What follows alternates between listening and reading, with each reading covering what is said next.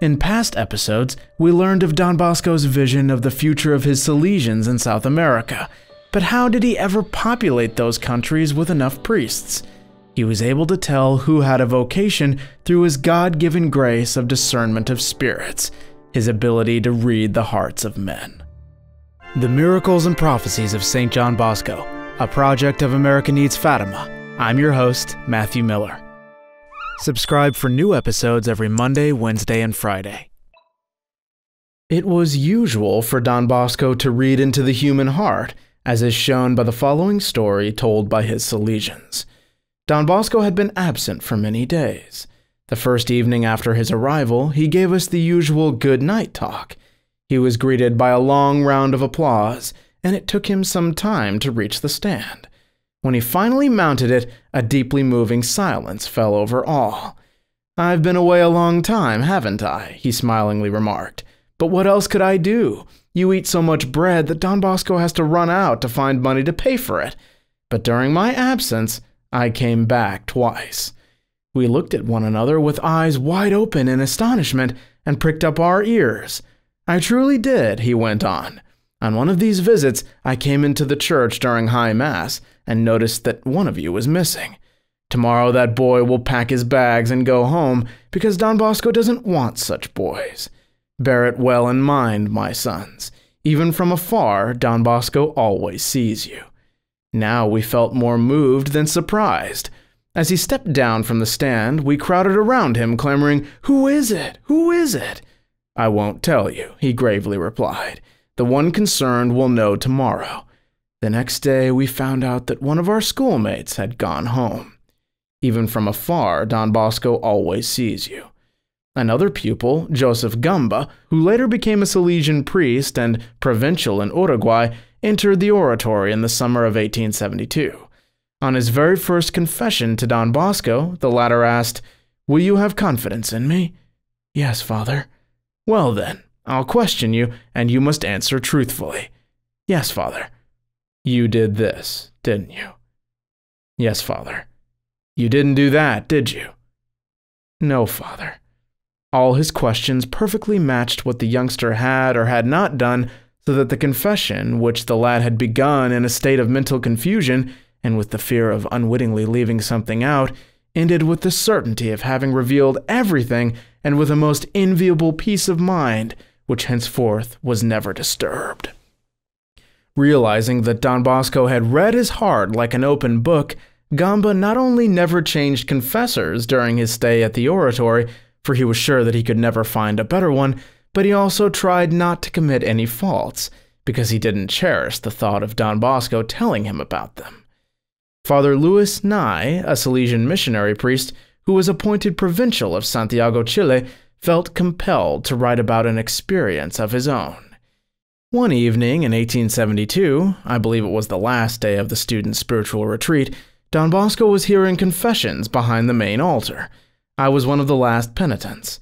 When I was through with my confession, Don Bosco said these precise words to me At this moment, your whole future is wide open to me. He then went on to tell me what he saw. I recall experiencing then and there a heavenly joy. Now I can swear under oath that everything Don Bosco told me did come true. Don Bosco told Louis, I see a bear and a lion attacking you. They symbolize the trials which you will be exposed to, moral struggles, and calumnies. But I can also see your goodwill. Don't be upset. Keep going. The youth later confirmed under oath that he had indeed encountered these trials and overcome them. In regard to calumny, a companion threatened to accuse him falsely to Don Bosco, and indeed carried out his threat. Hearing of this, Nai hastened to Don Bosco to defend himself, but the priest forestalled him, saying, Don't you trust me? Have no fear, I know you well. On another occasion, after Nai had finished his confession, Don Bosco asked him, Would you like to make a deal with me? What kind? Figure it out. I'll tell you about it some other time. The boy waited anxiously for the day of his weekly confession in order to have the riddle explained. When it finally came, he immediately asked Don Bosco, So what's the deal? Go to Father Rua, Don Bosco replied.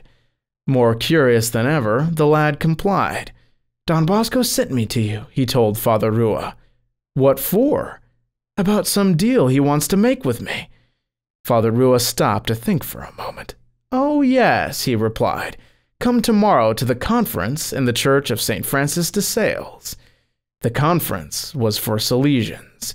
He attended and began to understand. When he was a Salesian priest, he once asked Don Bosco, What particularly prompted you to tell me that you wanted to make a deal with me when I was a young student? While I was hearing confessions, Don Bosco replied, I often saw little tongues of fire detach themselves from the candles on the altar of Mary Help of Christians and, after moving in circles, flutter over the heads of some boys.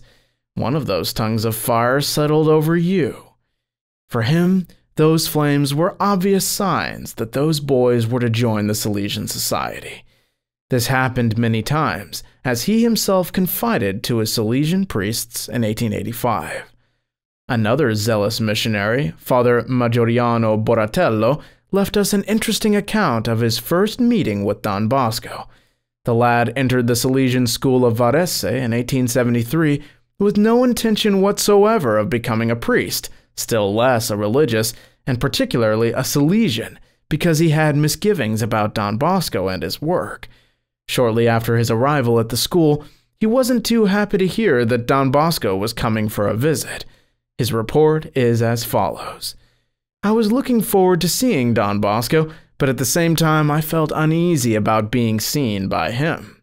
When he arrived, all the pupils ran elatedly to him, vying with one another to kiss his hand, while he smiled and greeted them most amiably. I, too, approached him from the rear, unseen, and kissed his hand just to be able to say afterward that I, too, had done it. He pretended not to see me by turning his head away from me, but he gripped one of my fingers and held it tightly, together with the fingers of some ten or more other boys, so that I was obliged to follow him through the long corridor.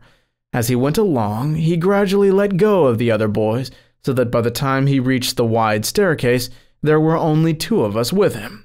John Bielli, a close friend and classmate of mine, now a priest, and myself. After chatting a while with Bielli, Don Bosco dismissed him. He then turned to me.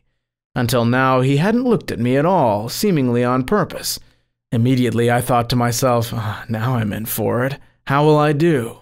Don Bosco gave me a piercing look that shook my every fiber. Unable to sustain his scrutiny, I lowered my eyes in embarrassment and awe.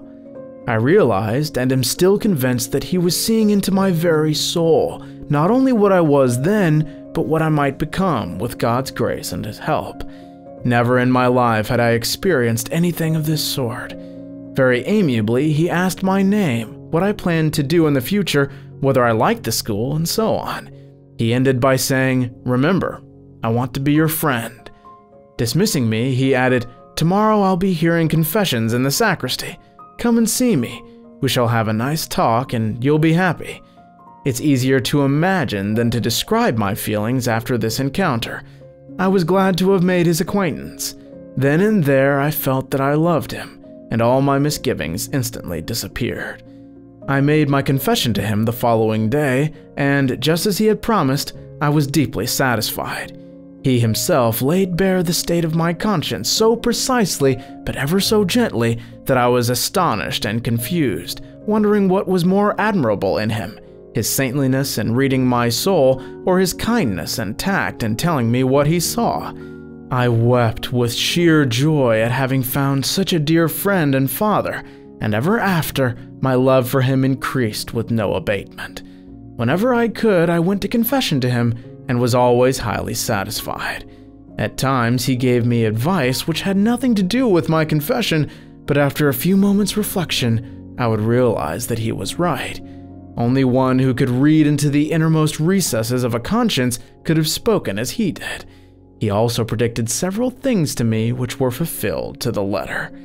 If you'd like to hear a dream of St. John Bosco in which he cautions us against grumbling and disobedience, just click on the link above me here. God bless you, and Our Lady keep you.